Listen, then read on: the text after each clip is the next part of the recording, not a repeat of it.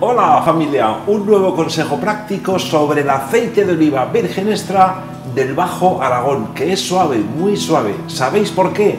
Porque está elaborado con nuestra aceituna en peltre, con nuestra oliva autóctona, que da unos aceites muy versátiles y muy ricos.